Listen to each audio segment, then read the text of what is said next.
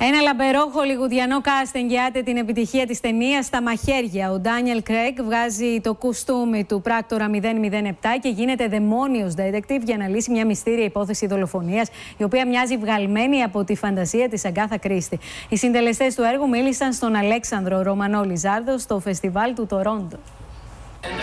Όλοι τους είχαν κίνητρο να τον σκοτώσουν. Κανένας όμως δεν άφησε αποδεικτικά στοιχεία.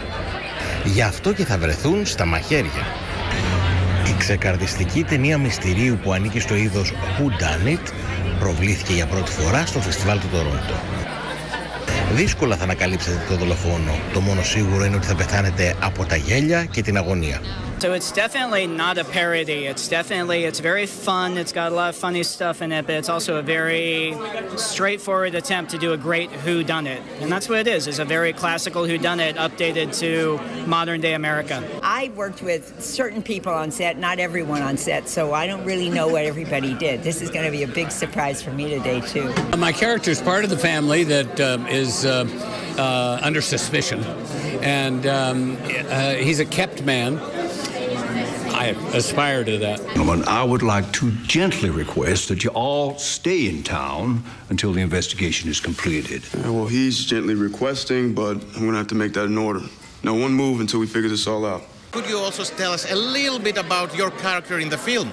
I play an amateur um, sleuth um, who is uh, um, investigating what appears to be a murder, and, um, and it all sort of uh, goes from there.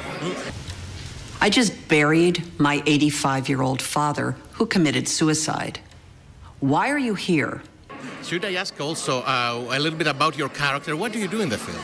I play the beloved, most favorite child of Christopher Plummer. Mm-hmm. And don't tell all my siblings that I said I was the favorite. I think he had a diabolical sense of humor, you know.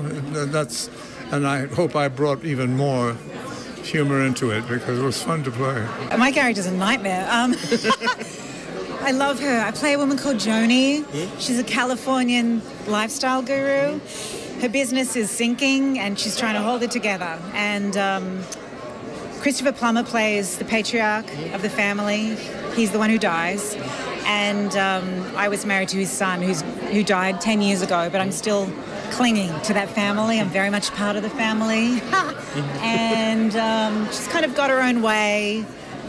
When I first spoke to Rian, we FaceTimed. I was in LA and I think he was already scouting in Boston. And he just said, Toni, I think you'll have a lot of fun with this part. And he was not wrong. It, I really did. It's so much fun. Did you just Google that? I did just Google that. You gotta do this more often.